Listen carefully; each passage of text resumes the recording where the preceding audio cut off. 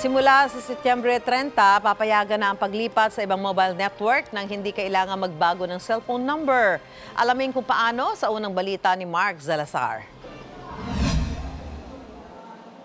Ikaw ba yung pikang-pika na sa mobile network mong mabagal ang signal, ang bagal ng data, walang kwenta ang service customer hotline, pero ayaw mo naman magpalit ng number?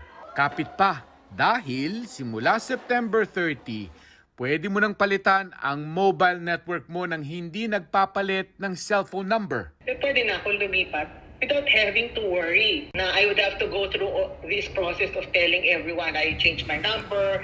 Kung yung network walang forever, sa mobile number mo may forever. Ito yung batas na Mobile Number Portability Act. Ang batas na nagsasabi sa mga telco na ayusin nyo ang serbisyo nyo para hindi kayo alisan ng customer. It encourages the operators to expand their coverage, provide better service, expand their products and services, di ba?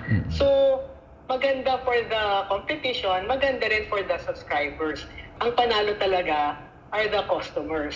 Tansya ng Telecommunications Connectivity Incorporated ang kumpanyang itinayo ng Smart Globe at Dito para asikasuhin ang paglipat-lipat ng mga customer. Nasa isang milyon kada buwan ang customer na lilipat ng telco para mahanap ang hiyang sa kanila. We're ready uh, for the first million and then um, the clearinghouse naman uh, can port to as many as like a million a month. Kaya naman nila yan. So, or 12 million in a year. Kaya natin yan. So, we're preparing for it. Paano ba magpalit ng telco? Magsasubmit ka muna ng application mo sa lilipatan mong network kasama yung hiningi mong unique subscriber code sa network mo ngayon. Siyempre dapat wala kang atraso sa network mo ngayon. Titingnan ng clearinghouse kung wala kang atraso. Kung wala naman talaga, may isang araw ayon sa batas ang network mo ngayon para bigyan ka ng clearance. Isang araw naman para tanggapin ka ng bago mong network.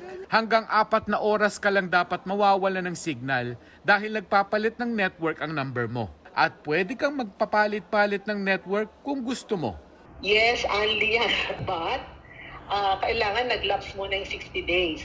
Warning lang, baka hindi alam ng katelebabad mong ibang network na pala ang number mo. Hindi na pala kayo only call at text. Sabihan mo na lang. Para sa unang balita, Mark Salazar, buong puso para sa Pilipino.